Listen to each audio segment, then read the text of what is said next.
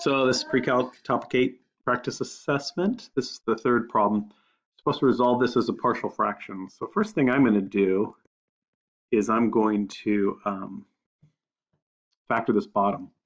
So this factors to, uh, and by bottom I mean denominator, x plus 4 times x minus 3.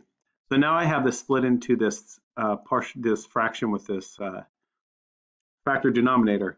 So now I'm going to take this, what makes this, this is zero. I'm going to use the cover up method. Remember, this is also called Heaviside. So I'm going to use negative 4. And what I plug it into is everything except the part that would make me divide by 0. So 3 times negative 4 minus 44 over negative 4 minus 3.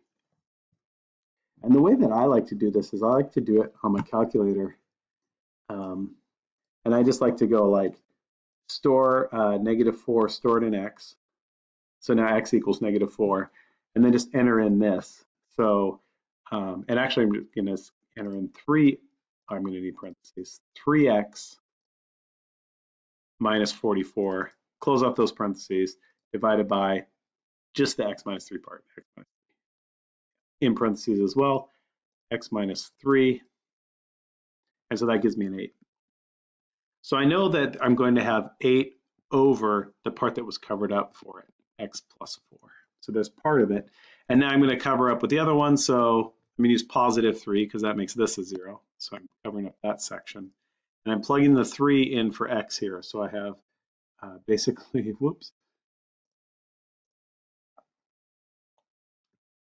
3 times 3 minus 44 over, and I use this part now 3 plus 4.